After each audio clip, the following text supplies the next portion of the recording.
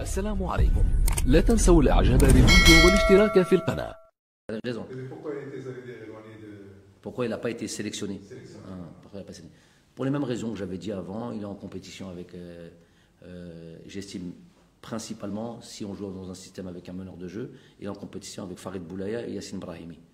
Hadamaka. Donc voilà. Ça, Tant, il a posé plusieurs questions. Donc, il, y avait, il y avait Youssef Blaili. Blaili, évi- évidemment que nous sommes euh, euh, en contact euh, régulier, déjà concernant déjà sa, entre guillemets, le marde, Hadi marde de ces trucs, bon, même s'il n'est pas physiquement est quasi, quasi as- as- as- asymptomatique, pas de gros effets, pas de grosses douleurs, alhamdoulilah. Donc il est, il, est, il, est en, il est en quarantaine, il va en sortir bientôt, Inch'Allah, ici à Doha. Euh, il fait partie déjà du. J'en profite pour dire qu'il fait partie d'une longue liste quand même. Malheureusement, l'SF fait partie d'une longue liste. Ce qui complique. Alors il y a deux choses qui compliquent la préparation, qui compliquent très, très lourdement la préparation. Il y a les cas Covid et il y a cette, date, du 3. Alors qu'on avait un match le premier et qu'on avait un match le 5, match préparation.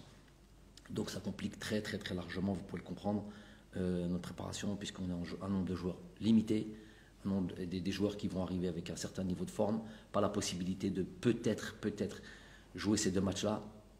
Donc euh, on est aujourd'hui dans une réflexion de, prendre une décision, savoir si on annule ce premier match contre, contre la Gambie ou pas.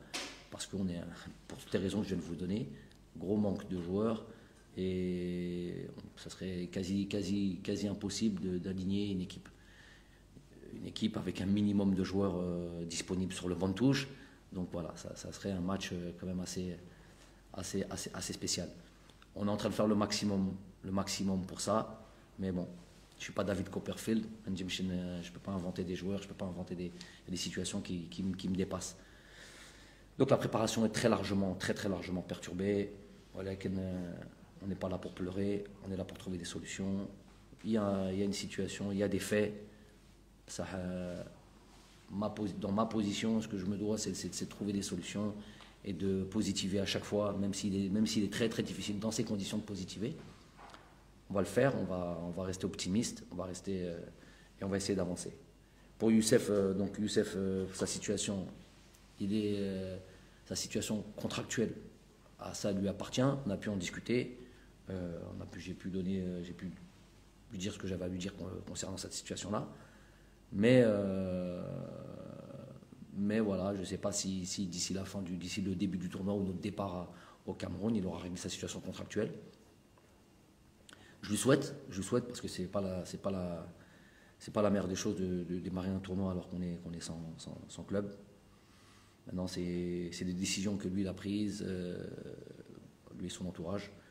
Voilà. Al Mohim, je sais que, je sais que quand, quand, quand on va démarrer le tournoi ou quand on va partir pour le Cameroun, il sera يكون مركز على ال- ال- ال- البطولة ولا المباريات دونك أم، ما عندي شك في هذا في هذا الشيء Euh, ولكن euh, pour l'instant je sais pas je- sur sa situation contractuelle je sais pas par contre sur sa situation médicale et je sais qu'il va bientôt sortir du, de, son, de son confinement et, et nous rejoindre peut-être demain peut-être après-demain بلال